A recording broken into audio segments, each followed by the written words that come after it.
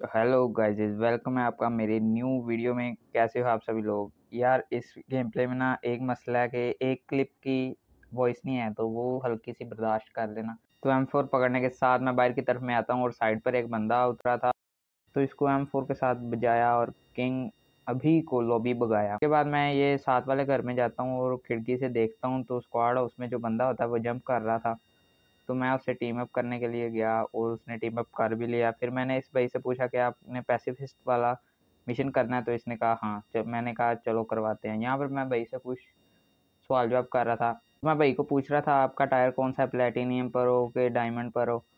तो ये कुछ बताते नहीं है चुमिया ही दे रहे थे तो मुझे बंदे का साउंड आया। तो मैं इधर उधर बंदा ढूंढता हूँ, मगर बंदा जो होता है वो ट्रिपल स्टोरी की तरफ़ से आ रहा था। इसको तो एम गोड लॉइन भैया को एम फोर से बजाया और लोबी बगाया यहाँ पर तो भाई का कोई एम ही नहीं चला। फ़ायदा एम गॉड का। जिसके साथ मैंने टीम अप किया था, वो उसकी पेटी लूटने चला गया। मैंने कहा, चलो लूट लो। तो गाइज़ इस फ्लेयर के पीछे एक बंदा था, जैसे ही इसने अपना मुँह दिखाया, इसको दो तीन चपेड़े मारी और लवर एजिप भैया को लोबी बगाया इसको लोबी भेजने के बाद मेरे एक ही हो चुके थे और फिर हमने की इसकी थोड़ी बहुत लूट तो हमने लवर एजिप्ट भैया की मदद से की, लूट लूट शूट करने के बाद हम आ गए थे ट्रिपल स्टोरी में। यहाँ पर हमने किया तो छोटा हँसते, फिर जोन स्टार्ट हो गया, फिर मैंने पकड़ी। डासिया डासिया में डासिया में अपने टीममेट को बैठाया और हम इस पहाड़ी की तरफ़ में आ गए थे। अब ये बगी वाला बंदा गुजरा है, इसको आपने याद रखना है। ये हमें मिलेगा और अच्छी यादगार के साथ मिलेगा। तो उसी के बाद मुझे पीछे की तरफ़ से डासिया का साउंड आता है, मैं वहाँ देखने जाता हूँ तो डासिया में कोई बंदा यहाँ से जा रहा होता है, उसको लोबी भेजने के बाद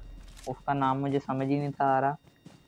ठकरैन बोए पता नहीं क्या नाम था इसका। इसी के साथ मेरे सात किलो हो चुके थे। तो ना नीचे की तरफ़ में से कोई बंदा स्प्रे कर रहा था तो मैं उसको देखने जाता हूँ, देखने जाता हूँ क्या देख भी लिया उसको दो तीन गोलियाँ पड़ती हैं, मगर फिर वो ड्रॉप के कवर में आ जाता है। जैसे ही वो बंदा ड्रॉप के कवर में से बाहर आता है फोर आर्या को M four M four sixteen से भिजाया जाता है। गाड़ी पकड़ने के बाद सामने की तरफ़ में एक बंदा नज़र आया। मैंने सोचा, इसको गाड़ी के नीचे कुचल देते हैं, मगर अगले की किस्मत अच्छी थी और जो मेरे साथ बैठा है, इसकी खराब थी। वो क्यों?